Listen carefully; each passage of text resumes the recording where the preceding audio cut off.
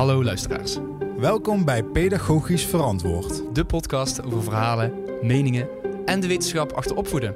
Tegenover mij zit Tijmen van de Beuken in een mooie blouse. En tegenover mij zit de Nederlandse pedagoog van Nederland, Lars den Burg. Leuk dat jullie luisteren. Hey Tijmen.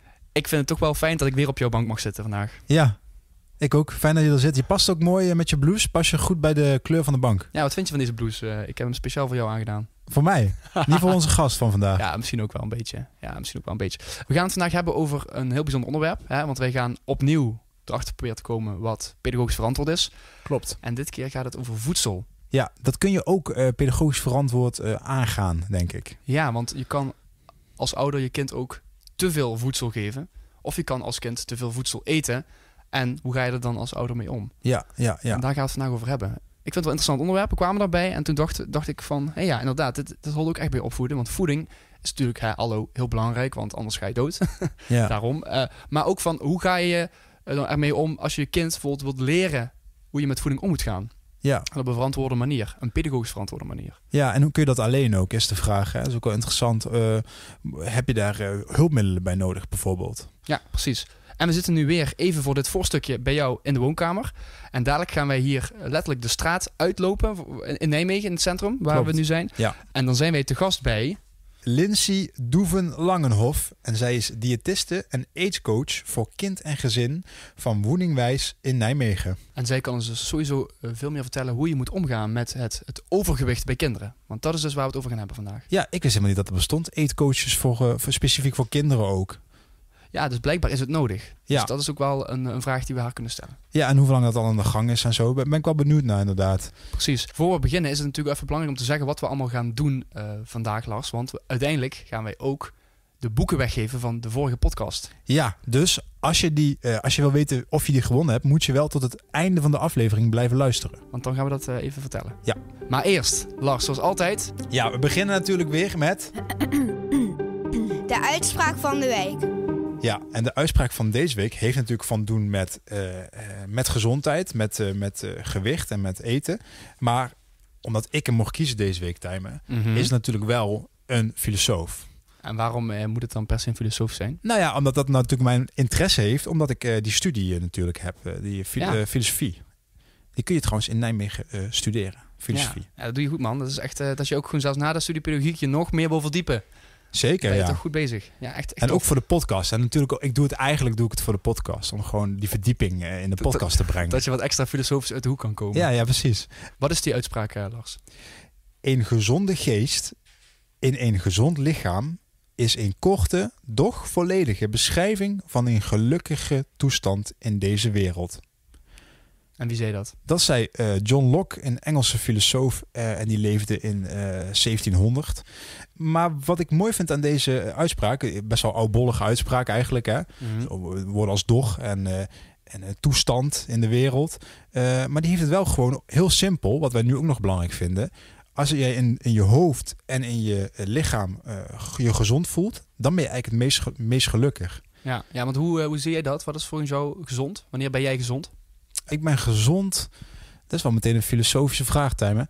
Uh, we moeten natuurlijk niet te filosofisch maken, maar ook nog pedagogisch houden. Ja. Ik denk dat ik het meest gezond ben als ik het meest authentiek ben. Dus mezelf goed voel met mijn lichaam en met wie ik ben. Misschien een beetje vaag, maar... Uh, ja, maar er zit dus niet een cijfer achter of dat jij zegt van... Ah, ik wil op de weegschaal wil ik dat daar minimaal 80 staat of zo. Dat, dat is niet voor jou gezond. Nou ja, toevallig ben ik de laatste tijd wel bezig met BMI en met dat soort dingen allemaal. Oh, oh dus ik je een pijnlijk onderwerp aan. nee, ja, natuurlijk. Je bent, je, zeker als je ouder bent. Hè. Kijk, als kind uh, vind je gewoon alles lekker en, en uh, hap je gewoon overal mee mee. Zeker ik vroeger. Mm -hmm. Maar nu ga je toch meer nadenken over... oké, okay, hoe lang wil ik nog leven en zo, weet je wel. Maar, uh, dus daar ga je dan wel meer over nadenken. Dus ja, ik denk dat ik daar dan wel meer mee bezig ben. Ja. Ja, ja, ja, ja. Want deze podcast gaat dus over overgewicht bij kinderen. En ik ken jou nu pas een paar jaar. Maar was jij, uh, misschien een rare vraag... maar was jij, had jij overgewicht als kind? Nou, vind ik wel een goede vraag. Uh, ik had denk ik uh, babyvet wat een beetje doorzetten of zo. Dat wel. En doorzetten tot hoe, la hoe lang? Vorige week? Nee, nee, nee. Dat, dat is gewoon. Uh, ik, ik, denk dat het gewoon. Uh, als je een groeispurt meemaakt, dat het dan, dat je dan steeds slanker wel wordt. Ja. Uh, maar ja, dat gebeurt pas. Wanneer gebeurt een groeispurt bij jongens? Dat is gewoon best wel laat. Mm. Ehm, ja, dus dan ben je wel tot, eh, tot 14, 15 jaar eh, ben je dan nog gewoon een beetje chubby. Ja, ja. Dus, eh, maar goed, of dat overgewicht is of niet, dat is natuurlijk ook wat de vraag. Hè? Ja, ja. Dat, dat zijn ook van die, van die marges die we wel ook kunnen, kunnen vragen aan de gast. Van wanneer is iemand nou echt, wanneer heeft een kind nou overgewicht? En Ja, wanneer, inderdaad. En wat is het verschil met volwassenen inderdaad? Wanneer... eh, Die noteren we even, die vraag. Yes. Ja. Maar wat interessant is om misschien eh, over te hebben is... ehm, ja, je ziet natuurlijk veel kinderen die houden van snoep, chips en dat allemaal. En hoe komt het toch dat die dan alsnog zo, zo blij worden daarmee? Want je zou kunnen zeggen, als je daar te veel van eet... dat je daar ook gewoon eh, ja, misschien ziek van wordt of, of gewoon ongelukkig... omdat je allemaal die rotzooi naar binnen werkt. Maar schijnbaar kunnen kinderen ook zo, eh, zo, zo dik worden of, of een overgewicht krijgen... omdat ze zoveel naar binnen kunnen werken zonder daar negatieve eh, eh, uitkomsten van te ervaren. Nou, ik denk dat ze ook niet op langere termijn kunnen denken natuurlijk. Hè? Eh, misschien is dat een beetje vooroordeel, maar ik denk dat kinderen vooral denken van dit is nu echt heel lekker. Ja, maar dat is ook wel uit de literatuur gebleken. Dat hebben een paar afleveringen terug, geloof ik, kan ik me nog herinneren, hebben we het daarover gehad. Dat kinderen gewoon nog heel erg in het nu leven in de zin van dat ze de, de risico's van de toekomst niet zo goed kunnen inzien. Nee. Hadden jullie een kast thuis met allemaal lekkere dingen? Daar eh, zie je dan wel vaak. Dat, dat het dan zo'n geheime plek is of zo'n plek die dan afgesloten is of zo. Ja, we hadden wel een kast waar, eh, waar, of een deel van de kast waar dan de, de koekjes en de snoepjes en zo zaten. Maar wij, uit- in ons huis waren we nooit zo'n zoete kous. Het was meer het hartige. Maar zelfs dat was niet altijd in huis. Dus, dus dat hadden wij ook niet echt. Wij hadden ook echt nooit eh, frietjesdag, hadden wij niet. Heb jij dat thuis gehad? Dus je één dag in de week dat je friet eet. Nee, niet in de week. Nee, dat- daar gingen ze bij ons. eh, ja, maar ik, ik ken het wel van vriendjes. Ja, ja, zeker. Ja. Ja, ja, want ik, en dan was ik dan wel slim, want dan hadden we dat thuis geen, eh geen frietjesdag.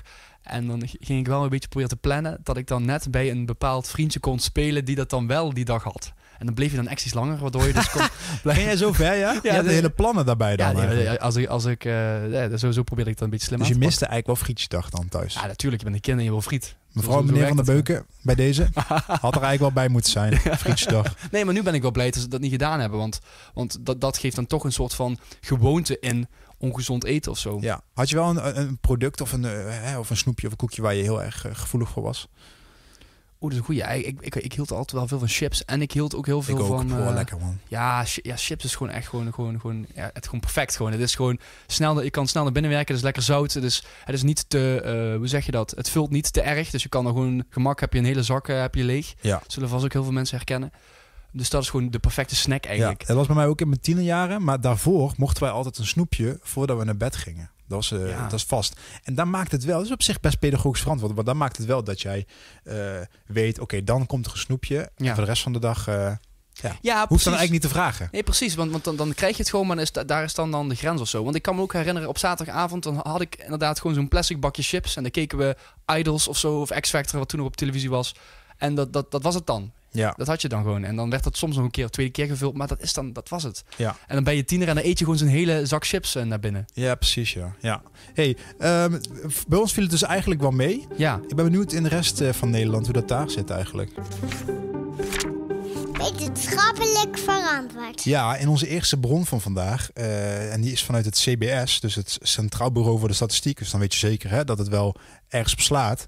Eh, ja daar kom- gaan we vanuit, ja. Ja, daar komt naar voren dat in 2018 16% van de kinderen en jongeren van 2 tot 25 jaar overgewicht had. Wow. 16%, ja. Schrikken we daar dan van eigenlijk nog? Eigenlijk ga ik daar wel van uit dat het, dat het, dat het toch wel aanwezig is. 16, hè. Dat is dus meer, eh, meer dan 1 op de 10, hè. Ja, ja. vind ik wel veel. En je weet hè, van, van eh, bijvoorbeeld van eh, Jamie Oliver en zo, die in Engeland allemaal die, eh, die scholen wil, aan, aan gezonde voeding in de kantines wil. Daar is sowieso al een ding. Ja, maar we hebben het hier over Nederland, hè. Ja, bij ons blijkbaar ook. Ja, vind ik veel, vind ik veel. Nou, uh, Las, staat er nog meer? Ja, en dat is dan over, de, over de- jeugd in het algemeen. Maar dan heb je dus bijvoorbeeld de jongvolwassenen van 18 tot 25 jaar, waar bijna een kwart te zwaar was. Oh, Dat is gigantisch, ja. Ja, dat, dat is echt heel veel. Ja, en dat zijn dus die kids die allemaal aan de chips beginnen, waarbij de ouders geen, eh, geen controle meer uitvoeren. Ja, natuurlijk. En, en, en dan kom je in de leeftijd dat je wat zelfstandiger wordt. Dus die dingen zelf ook kan, kan bepalen. Dus dan ga je misschien op, je, op jezelf wonen. En dan kun je inderdaad gewoon elke avond een pizzaatje bestellen of zo. Ja, en drie op de tien jongvolwassenen met overgewicht gaven in de periode 2016-2018 aan ontevreden te zijn over hun gewicht. Ja, Nou, Ja. dat snap ik. ja dat, dat, dat matcht dan wel met die andere cijfers. Ja, goed, inderdaad. Als jij gewoon... eh, ehm, gewoon jezelf te dik vindt, ja, dat is nooit goed. Kijk, niet dat het altijd terecht is, hè, want, want ik, ik ken ook veel mensen die, die vinden zichzelf te dik. En dan kijk ik naar ze en dan denk ik, nou, dat valt reuze mee, hè, met mijn eh, perspectief, met mijn bril. Maar eh, ja, goed, als je inderdaad, als je echt te zwaar bent volgens echt de cijfers en volgens die BMI-codes allemaal, waar jij ook mee bezig was, ja, dan is het gewoon, eh, gewoon wel logisch dat je daar, daar een beetje onzeker over bent. Dit is Pedagogisch Verantwoord. De podcast over verhalen, meningen en de wetenschap achter opvoeden. En eh, Lars, wat zegt bron nummer twee? Ja, nou, het is natuurlijk wel interessant om te kijken, hè, wat zijn dan factoren die meespelen bij, eh, hè, bij kinderen met overgewicht? Wat, wat zijn dan de veroorzakers misschien ook en waar kun je naar kijken? Nou ja, onderzoekers van de Murdoch Children's Research Institute, hele mond vol, die hebben gekeken naar wat speelt er nou bij die kinderen met overgewicht. Ja, en vaak heeft het dan te maken met drie eh, belangrijke factoren. Dat is één, de BMI van het kind. Dus dan kun je al kijken naar, eh, klopt, we hebben, je weet wat BMI inhoudt, Tijmen? mhm, Klopt ja. het met, eh, met de leeftijd die iemand heeft en met de lengte, is het dan vaak, hè? Ja, de BMI is geloof ik leeftijd, lengte en, en gewicht. Eh dat wordt dan eh, uitgerekend en of dat dan klopt, zeg ja, maar. en je kunt bij kinderen dus al zien als het te hoog is. Dan moet er misschien eh Lindsay straks nog maar iets over zeggen. Maar Ja. volgens mij kun je dan zi- al zien dat het te hoog is of misschien te laag. Eh, maar dan moet dus in een bepaalde kader moet dat vallen voor kinderen. Mhm. En ze kijken ook naar de BMI van de moeder. Dat is ook interessant. Oh, om- omdat het genetisch natuurlijk ja, precies. aangelegd kan, ja, eh, kan omdat zijn. je dus aanleg kan hebben om, om veel dikker te worden. En als derde konden ze ook aan het opleidingsniveau van de, eh, van de moeder... konden ze afzien of, het, eh, of, of een kind daar gevoelig voor is. Want blijkbaar, ja, Ja, maar maar daar wil ik echt even, even met je over hebben. Want dat is echt wel een dingetje. Hè? Daar heb ik me laatst ook aan gestoord. Dat dit, dit, dit heb ik al eerder gehoord. En daar was iemand aan het vertellen over dat, dat, dat, dat het echt klopt. Dus dat mensen met een lager opleidingsniveau, of in ieder geval een praktischer opleidingsniveau, dat die, eh, eh, dat die kinderen veel meer gevoelig zijn om dikker te worden. Maar dat kwam dus volgens die meneer, ik weet even niet meer wie dat was, maar die vertelde dus, ja, omdat die ongezonde producten zijn veel goedkoper. En omdat nu in Nederland is het toevallig nog zo, en misschien ook helemaal onterecht, dat mensen met een eh, praktischer eh, opleiding, dat die minder verdienen, hebben minder, minder geld te makken. Dus dan gaan ze dus goedkopere producten kopen, maar die zijn dus ongezonder. ja. En daarom zou, daar zou dat door kunnen komen. Maar je zegt dus eigenlijk dat, dat, dat eh, ouders met een hoger opleidingsniveau, die dus meer geld te besteden hebben, die dan ook goedkopere producten gaan kopen? Nee, die gaan dus, eh, dus mensen die dus eh, hogere opleidingen hebben, die gaan dus, die hebben dus meer geld over het oh, ja, algemeen. bedoel ik gezondere. Ja, ik ja, bedoelde ja, inderdaad. en die kunnen dus ja, gezonder. gezondere ja. producten bedoel Ja, ik. ja. Ja. en het het is eigenlijk oneerlijk verdeeld eigenlijk dan. Hè? Ja, ja. Of in ieder geval, of het ligt aan de fout van de voedings, voedingsindustrie dat, dat is echt de, de gezondere salades, dat die allemaal 6 euro kosten, terwijl je een hamburger heb je voor 1 euro. Ja, Ja, je. typisch dit, ja. Ja. Maar La- Lars, staat er nog iets anders in het eh, onderzoek of is het, eh, zullen we naar de gas gaan? Ik denk dat het beste is om, eh, om wat we allemaal gehoord hebben tot nu toe en gelezen hierover, om dit even te laten checken bij een deskundige. Ja, tof, dat vind ik een heel goed plan. Want de praktijk van Lindsay, dat ligt hier bijna letterlijk om de hoek, of niet? Ja, dit is gewoon de, de, de straat uit en eigenlijk de straat weer in en dan ben je wel bij, Nou, bij Lindsay. Nou Lars, dan pakken we onze spullen en dan stel ik voor om daarheen te lopen. Ja.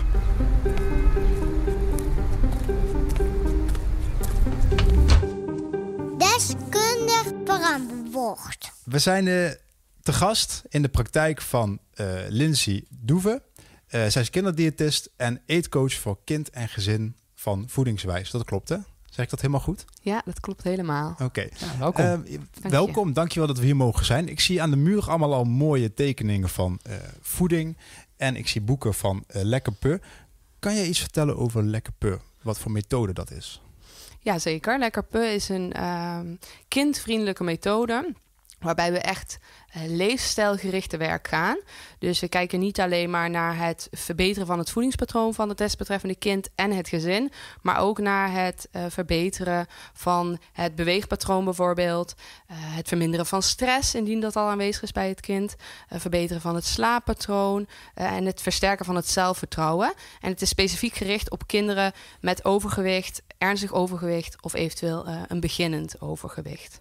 Oké, en ehm, dat is in, hoe lang is dat al in Nederland dan, die methode? Want die is, die in Nederland begonnen? Of? Ja, die methode is ongeveer 12 jaar geleden, als ik het goed heb, opgericht door eh, Ingrid. uh, Stibor.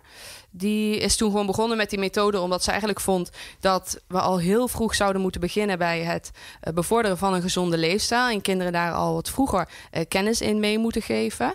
Uh, en daar begon ze eigenlijk gewoon heel klein mee, uh, zelfstandig. En dat is uitgegroeid tot een uh, landelijke methode, maar daarnaast ook al in de omliggende landen mm. wordt het gebruikt. Ja, ja, dus eigenlijk een soort methode om om te gaan met onder andere dus overgewicht, maar niet alleen uh, op voedingsgebied, maar ook om alles wat eromheen hangt, als ik het goed begrijp. Ja, eigenlijk dus de hele uh, leefstijl uh, van het kind en ook het gezin. Dus het is niet alleen maar gericht op dat ene kind wat dan wellicht te zwaar is.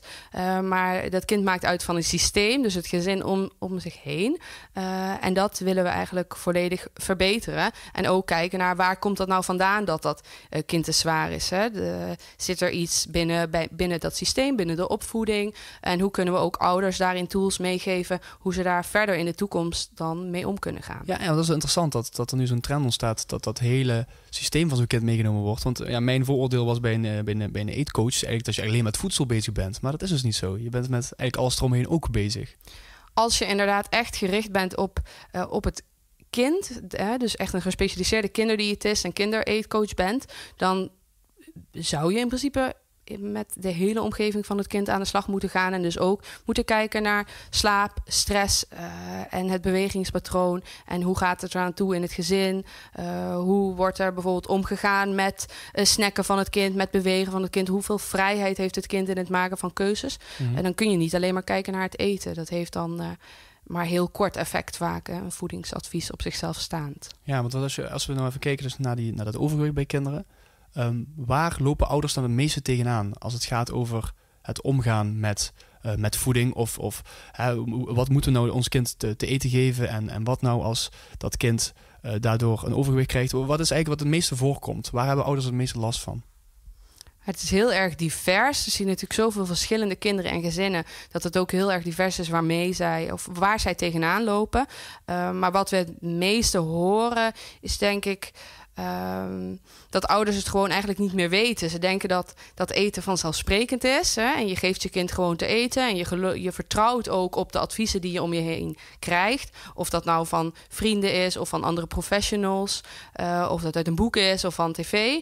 Uh, je vertrouwt daarop. En uh, dan vervolgens voed je je kind. En het voeden van je kind is natuurlijk iets primairs, een basis. Als ouder voed je je kind.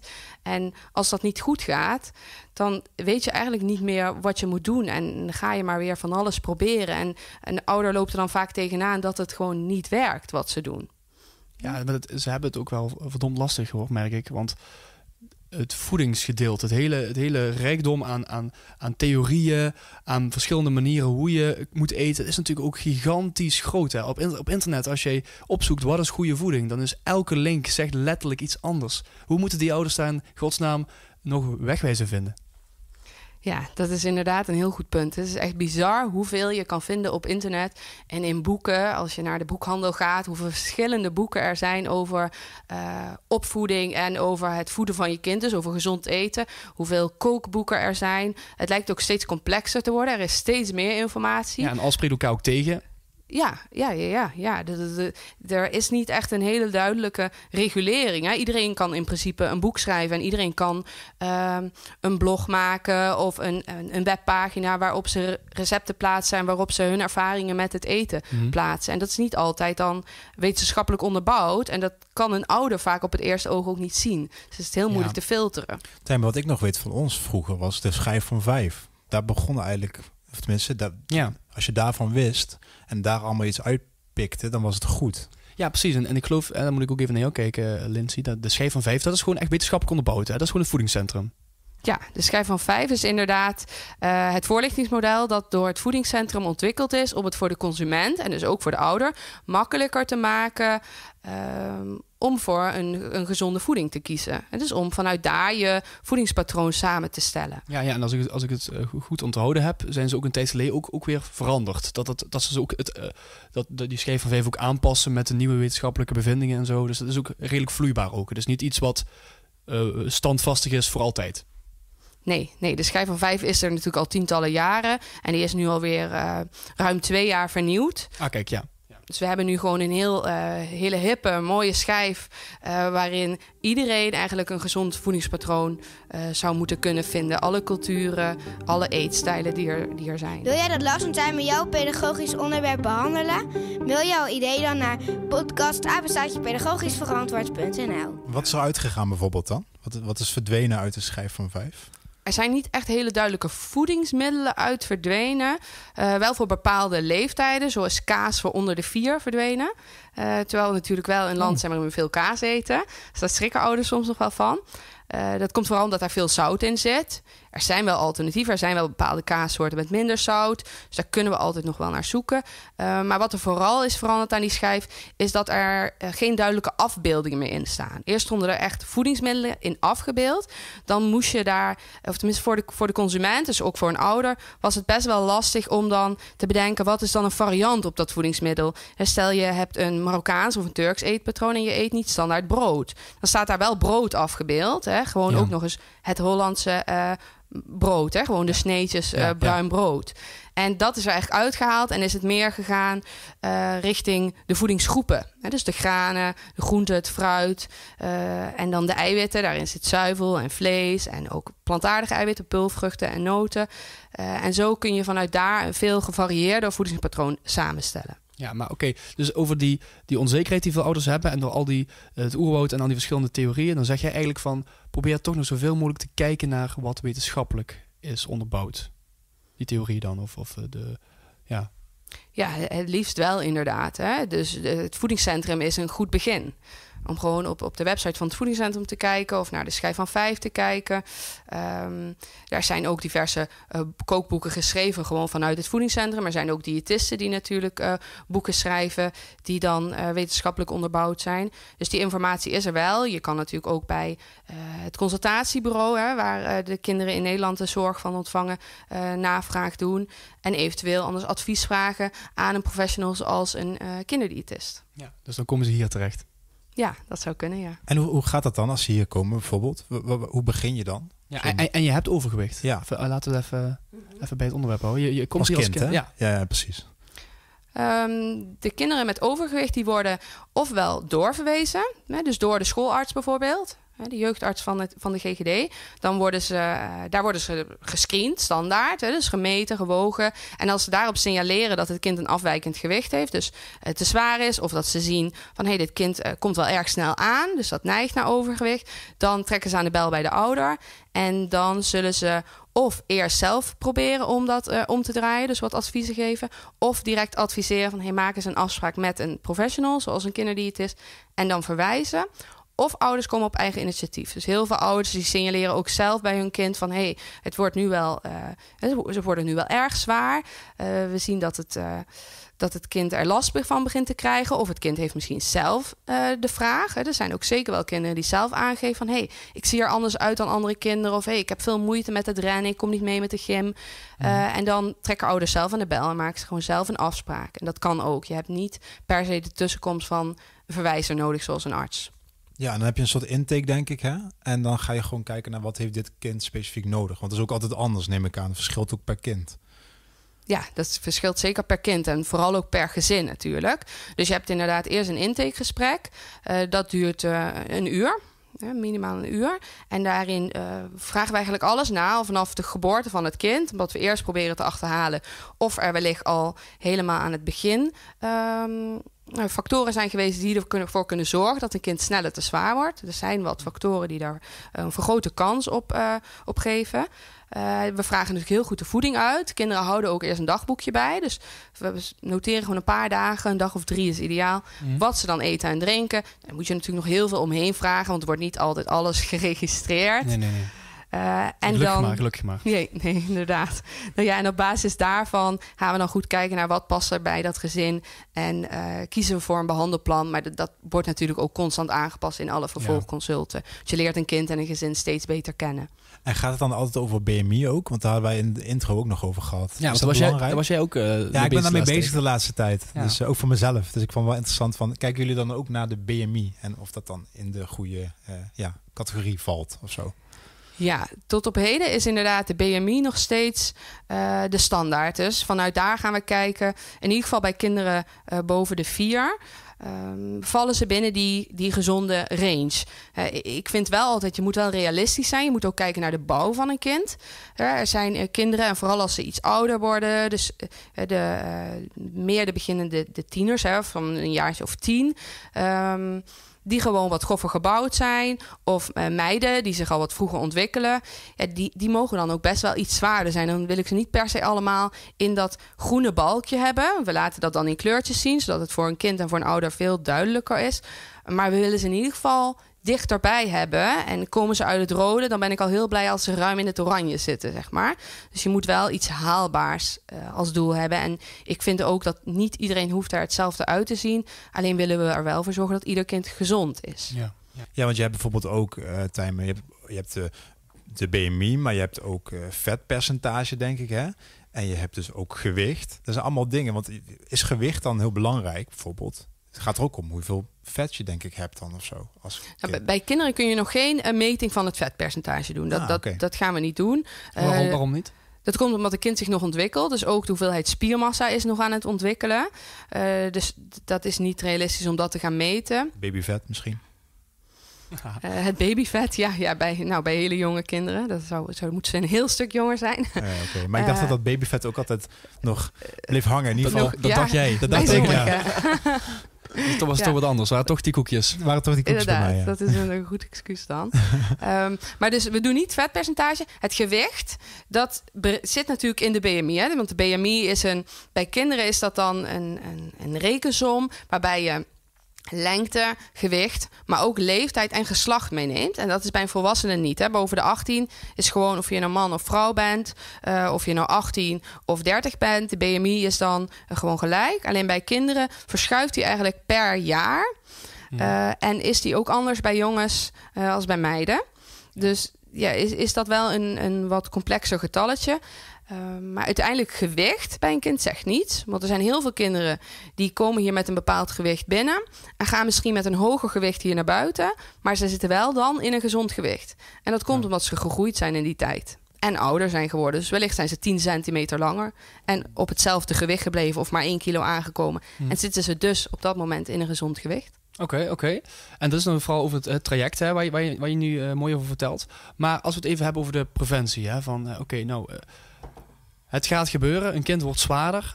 Waardoor komt dat? Wat zijn echt die dikmakers? Waar, waar, wat is echt heel gevaarlijk tussen aanhalingstekens voor kids om, om daar veel van te eten? Je luistert naar pedagogisch verantwoord. Nou, op het gebied van voeding uh, zit het hem heel vaak gewoon in de hoeveelheid. Dus, dus niet per se dat het vettig is of zo. Het is echt veel. Dus. Ja, heel veel ouders weten echt wel uh, wat enigszins gezond is voor een kind. He, ze weten dat het kind uh, fruit moet eten en groenten nodig heeft. En de meeste ouders weten ook echt wel dat bruine boterhammen gezonder zijn dan witte boterhammen. Mm. En dat is geen nieuwe informatie als we dat vertellen. Uh, maar het zit echt heel vaak in de hoeveelheid. Kinderen die bewegen veel minder dan vroeger.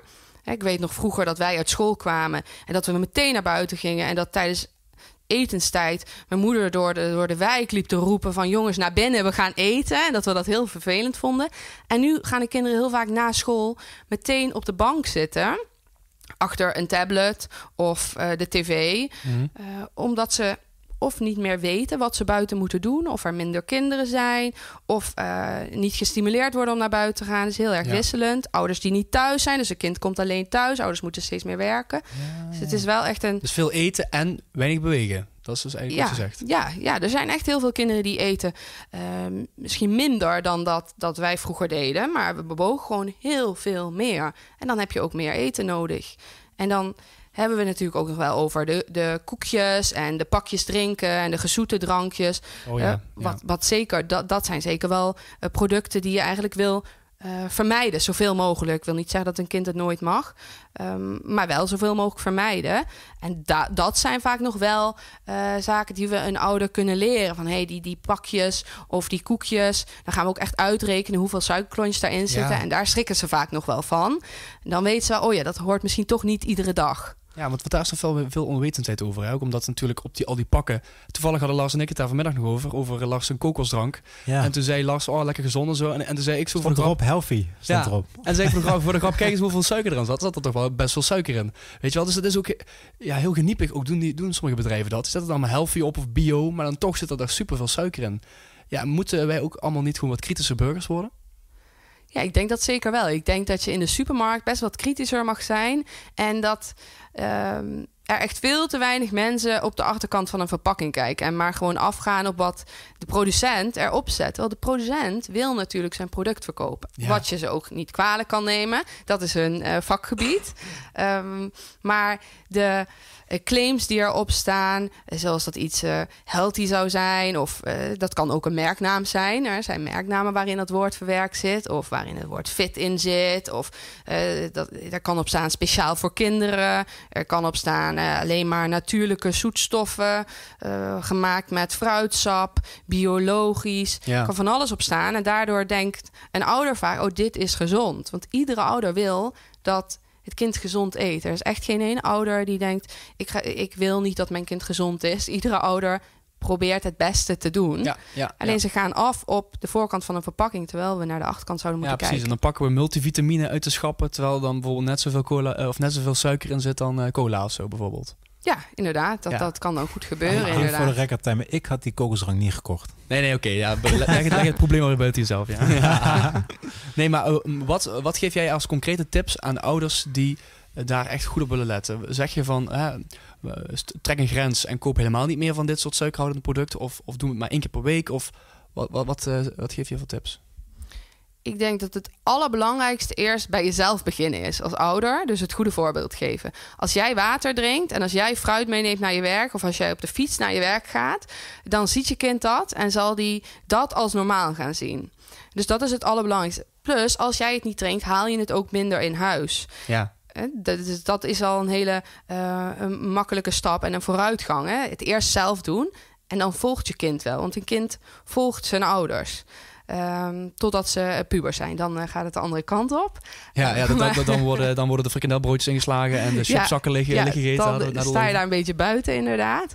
Ehm, Dan heb je je best gedaan, toch? Dan heb jij... eh hè? Dan ja, je- precies. Probeer je Ja, best ja, maar, dat, dan. maar dat is misschien wel interessant, want dat zie je dus vaak. Heel veel mensen herkennen dat ook. Hè? Van wanneer je dan tiener wordt en je gaat naar de middelbare school, dan worden inderdaad in die pauzes die frikandelbroodjes gekocht en zo.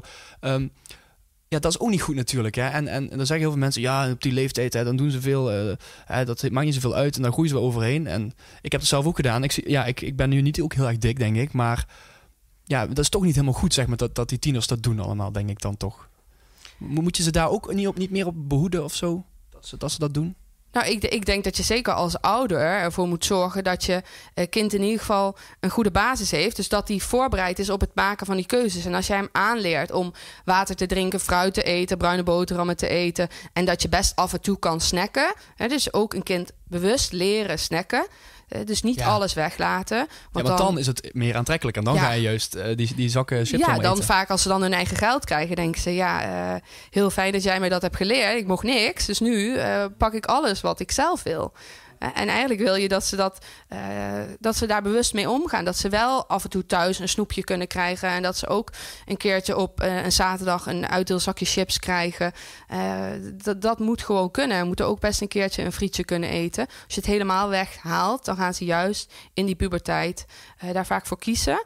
Ehm, maar als je daar al mee begint, dus als je die jongeren dan goed opvoedt, vervolgens ja, moeten ze hun eigen keus maken.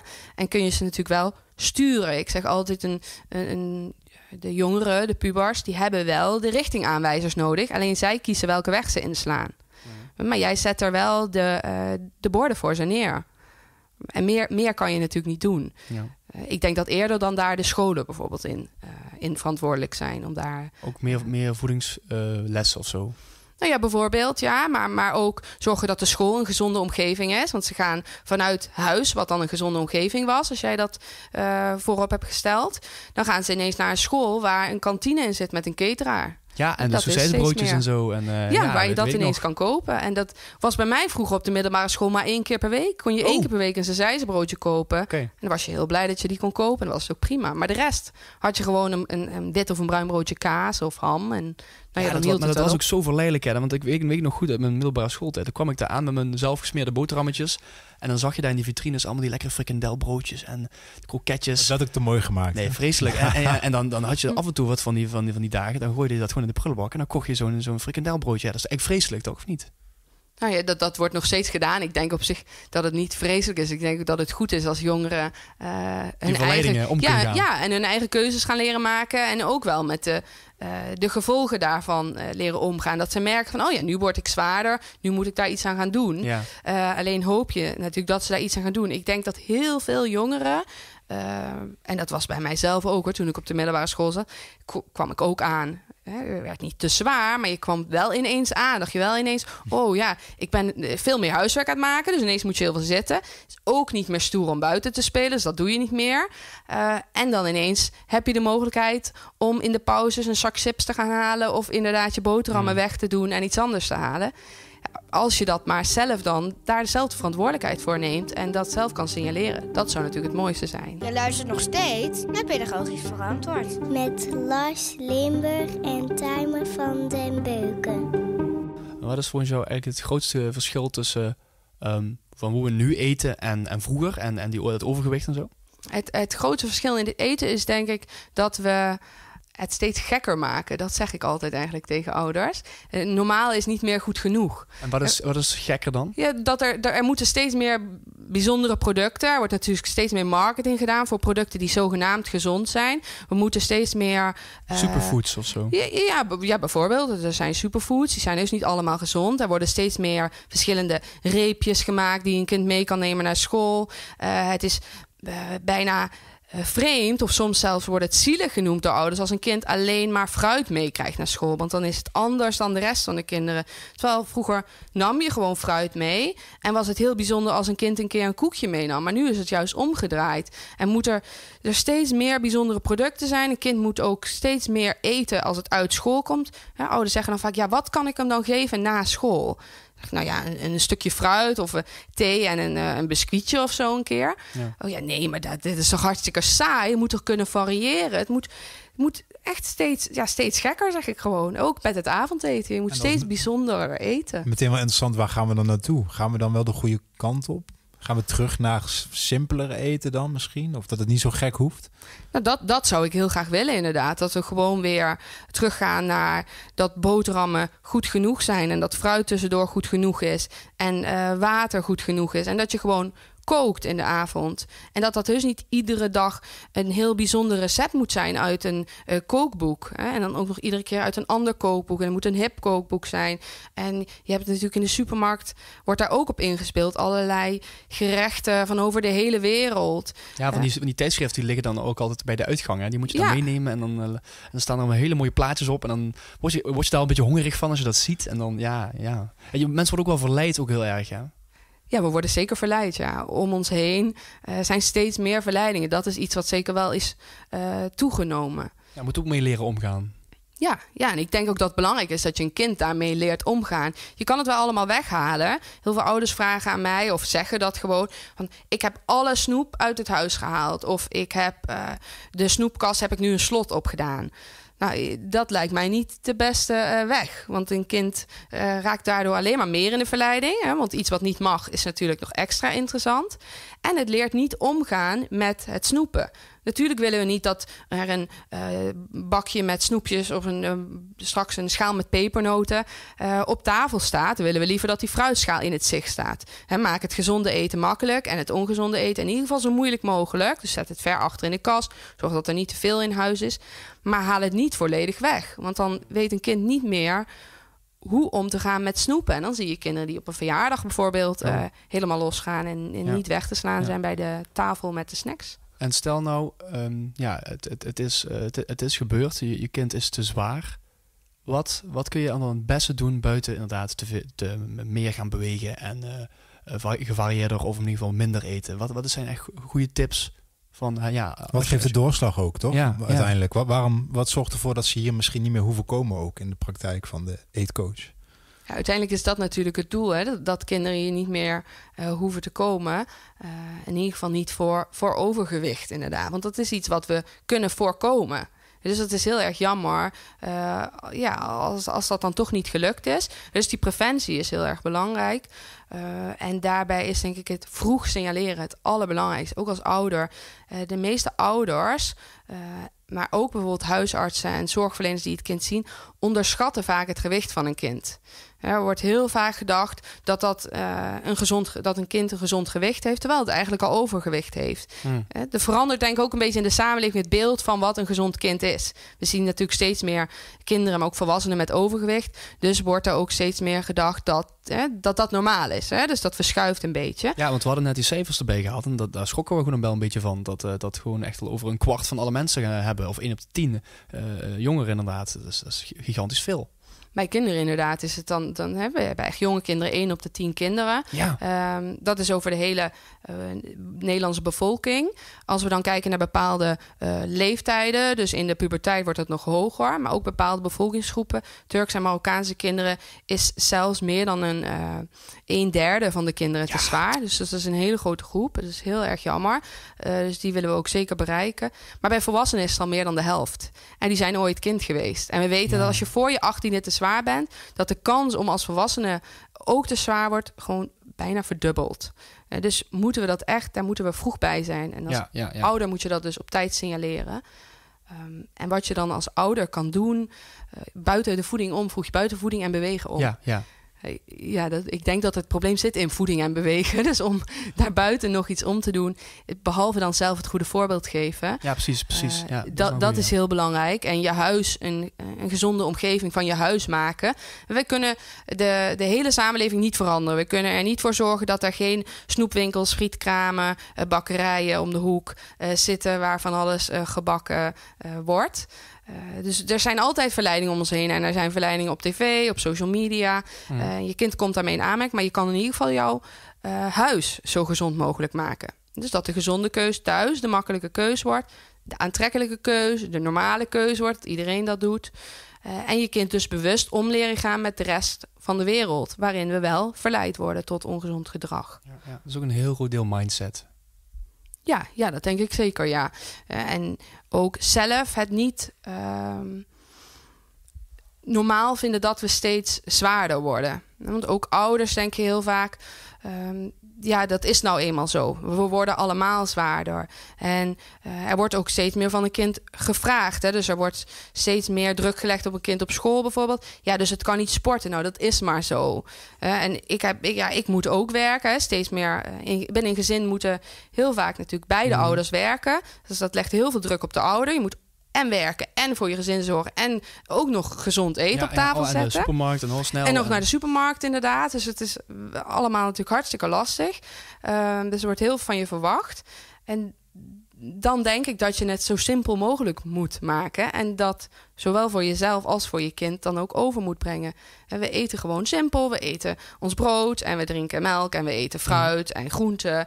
En we hebben gewoon iedere avond een gekookte maaltijd. En dan hoeft heus niet iedere avond iets anders te zijn. Eh, we kunnen prima weer terug naar op maandag eten we dit en op dinsdag eten we een keer dat. En op woensdag Ja. eten we dan eh, eh, de vis. En dat je dat een beetje standaard hebt. En dat, dat weer normaal maken. En dan kunnen we ook wel af en toe eh, snacken of snoepen. Want dat doen we allemaal. Dat hebben we ook allemaal altijd wel gedaan. Ja, ja. Mooi. Eh, ik vind dat je het fijn hebt uitgelegd. En eh, ik, ik denk ook dat je hier de komende jaren nog lekker zoek mee bent, of niet? Ja, zeker. We gaan daar zeker mee door. Eh, we, we hopen ervoor te zorgen dat er steeds minder kinderen en gezinnen met overgewicht zijn. Ja. Lars, heb jij nog een laatste vraag? Ehm, ja, ik vroeg me nog wel af toch of je dat thuis dan ook eh, toepast. Of hoe, hoe je dat toepast ja, thuis? of hoe je dat dan thuis toepast, jijzelf. Die, die kennis die je hier allemaal hebt eh, Ja, ja. rondhangen. Eh, we, ik pro- probeer thuis natuurlijk zo gezond mogelijk te eten. En we hebben altijd een grote gevulde fruitschaal. En we hebben altijd eh, alle snackgroenten op het aanrecht staan. En we hebben één trommel met koekjes en nu dan pepernoten, eh, die, die in het huis te vinden is. En als die leeg is, is die leeg. En dan hebben we inderdaad Ja. niets anders. En eh, ja, ik probeer zoveel mogelijk die gezonde leefstijl eh, toe te passen. En ook zoveel mogelijk te bewegen. Eh, Want bewegen, dat is iets wat we steeds minder doen. Helaas, ik met mijn werk ook. Ik heb zittend beroep. Moet gewoon de hele dag zitten. Eigenlijk ook ja. altijd uit aan kinderen. Ik zit ook de hele dag. Dus ik kan ook niet heel erg veel eten. Ik moet daarop letten. Ja, Want ja. anders dan, gaat dat natuurlijk ook niet goed. Ja, je was hier wel met de fiets, dus dat is dan wel weer een stukje beweging, toch? inderdaad. Ik heb mijn best gedaan. Lindsay, ik wil je hartelijk bedanken voor het interview. We hebben veel geleerd, denk ik zo. Zeker, ja. Ik zit helemaal En- vol weer, Timer. En ik zou zeggen, je zegt succes met de rest. Ja, dankjewel. Je luistert naar Pedagogisch Verantwoord. Lars, we zijn eh, ondertussen weer terug in jouw nederige stulpje. Ja, lekker thuis, weer fijn. Ja, wel fijn dat dit ja, echt zo kort lopen was. Dat was 10 minuten of zo? Ja, niet eens. Niet eens. We waren- ja, We nou, liepen nog wel door, hè?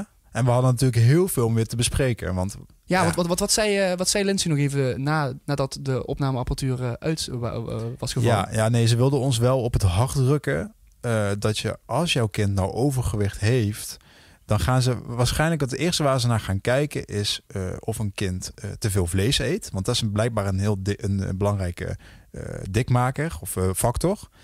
En dat jouw kind te veel melk drinkt. Nou, en ik als vervent melkdrinker, eh, als liefhebber, eh, is het wel goed om te weten dat je, dat je niet te veel melk moet drinken.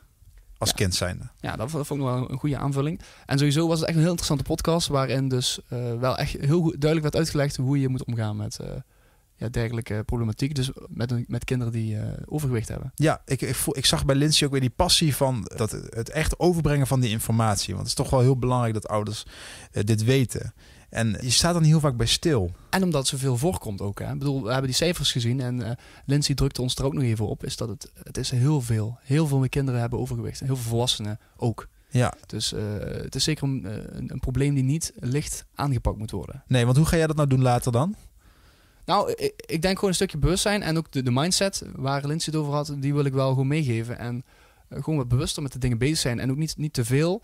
En wat ze ook zegt is, en wat ik ook begrepen heb uit haar verhaal, eh, niet proberen geforceerd gevarieerd te zijn. Nee, nee, nee. En het goede voorbeeld geven. Hè? Maar dat is, dat is voor ouders denk ik in elk gebied ja, nee, maar belangrijk. toch, ja, maar toch, hè, als jij als ouder gewoon lekker terugkomt van je werk, je hebt zin in je, in je cola blikje of zo, en je, zit, je trekt dat open, je gaat lekker op de bank zitten. Ja, nou, ik snap dat je daar misschien zin, in- zin in hebt soms, maar ja, als je kind dat ziet, dan wil hij of zij dat ook natuurlijk. En, en dan denkt dat kind toch dat het normaal is. Ja, doe het dan in een bidon of zo. Zo'n stiekem, weet je. Ja. Ja. Nee, maar het was een topaflevering en eh, we zijn er weer blij mee. ja ik, ik ook. Vond het erg leuk. Ja, Maar Lars, nu komt het toch. Wij gaan eh, de drie boeken van How to Talk to Kids uit de vorige aflevering gaan wij eindelijk verloten. Ja. Daar hebben we heel veel leuke rea- reacties gekregen en mensen hebben meegedaan. Eh, mensen hebben de, de podcast gedeeld. ja, heel erg bedankt daarvoor ook. Super, dus dat wil echt zeggen dat eh, mensen heel graag dat boekje willen hebben. En omdat we dus even wat, eh, wat eerlijker willen doen. we- Ja, we willen het proces niet beïnvloeden. Nee. Daarom hebben wij even onze redactrice gevraagd, eh, Marijn. Hallo Marijn. Hallo. Hi. Om even mee te helpen om het proces even zo eerlijk mogelijk te laten verlopen. Ja, Dus- Marijn gaat aan, de, aan de, het, het, het rad van Fortuin draaien. En daar komen dan drie namen uit. Ja, hier hebben we dus een internetsite waar je dat heel makkelijk kan doen. En dan eh, ja, gaan we daar drie namen noemen. En die mensen hebben dus het boek gewonnen. How to Talk to Kids. Effectief communiceren met kinderen. Als je je naam hebt gehoord, contacteer ons dan. En dan eh, sturen wij het boek naar jou op. Oké, lang genoeg gewacht. Marijn, Ja, wat is de eerste naam? ik mag aan het rad gaan draaien. Ah. Hier gaan we. Alle namen staan erin. De eerste die een boek krijgt is een luisteraar via iTunes. Met de gebruikersnaam, als ik het goed zeg, SenL of Seni 2335. Jij hebt een boek gewonnen. Yes, Hartelijk gefeliciteerd, man. Echt heel goed mevrouw. dat je hem hebt. Of mevrouw. Ik weet niet. We hebben hem allebei al gelezen. Je wil hem echt, eh, echt, eh, echt gebruiken in de praktijk. Oké, en eh, st- stuur ons een bericht en dan eh, kunnen we je zo snel mogelijk het boek doorsturen. Marijn, de tweede naam. Ja, ik ga weer draaien. Ja, de tweede winnaar is Cheyenne Hendricks. Cheyenne Hendricks. Gefeliciteerd met het boek. Stuur ons een bericht en dan krijg je hem. Ja, veel plezier ermee. Dan ga ik nu voor de laatste keer draaien. De derde naam. Hopen dat je erbij zit. Ja, en deze keer is het Rut Borger. Rut Borger. Gefeliciteerd. Hartelijk gefeliciteerd. Heel veel plezier ermee. Nou, Marijn, dankjewel voor het eh, meehelpen. Super fijn, eh, zo'n redactrice. Hè? Graag gedaan, kleine moeite. Ja, dan eh, wordt het natuurlijk al een beetje eerlijk. En als wij gaan zitten kiezen van wie het boek gaat winnen, dan kunnen we natuurlijk altijd een beetje vriendjespolitiek en zo. Ja, precies. Nee, inderdaad. Dat moeten we niet hebben. Ja, ja Lars, want we hebben nog iets. Want dit was niet onze laatste winactie. Ja, want ook naar aanleiding van dit gesprek met Lindsay eh, is er weer iets te vergeven. En dat heeft natuurlijk alles te maken met een gezond gewicht bereiken met Voor- je kind. Ja, voor je kind, ja. Ja, eh, want die methode waar zij mee werkt, Lekker Pur, daar is ook een boek eh, eh, van uitgekomen. Lekker Pur, samen met je kind naar een gezond gewicht. Bekt Ja. ook lekker, hè? Ja, het blijkt ook lekker. En het is ook een heel interessant boek waarin hele mooie praktische tips staan. Hoe je dus samen met je kind dus gewoon kan werken aan een gezonde voeding en een gezonde levensstijl. Dus super interessant. Lekkere maaltijden. En ja, heel veel mooie voorbeelden. En allemaal leuke plaatjes zie ik ook. Ja. En dat kun je dus opnieuw winnen. En dit keer eh, hebben we twee exemplaren wat we weg mogen geven. En opnieuw kun jij dus dit winnen door de podcast te delen op je social media.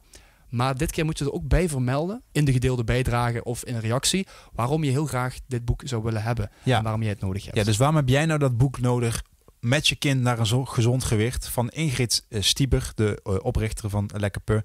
Nou, die wil je gewoon hebben. En zeker als je met een mooie situatie komt waarin dat boek echt wel eh, van pas had kunnen komen, dan zijn we al heel blij. En dan gaan we opnieuw verloten. En, en dat doen we dan in de volgende podcast. Lars, moeten we nog mensen nog bedanken? Ja, volgens mij moeten we elke keer mensen bedanken. En nu bedanken we Lindsay. eh Lindsay Doeven. Zij was vandaag de gast. En zij gaf een heel mooi inkijkje in het leven eigenlijk ook van een kinderdiëtist. Eh, en in de praktijk die zij meemaakt. Dus eh, Lindsay, hartelijk dank. En ook natuurlijk eh, bedankbaar voor het mogen weggeven van de boeken. En niet te vergeten, Marijn de Vrome voor onze redactrice voor het uitdelen van de boeken. Dankjewel. Graag gedaan. En natuurlijk niet te vergeten, jou als luisteraar bedankt dat jij weer onze podcast helemaal uitgezeten hebt. En ik zou zeggen, zoals altijd, blijf zoveel mogelijk. Pedagogisch verantwoord. Tot de volgende keer.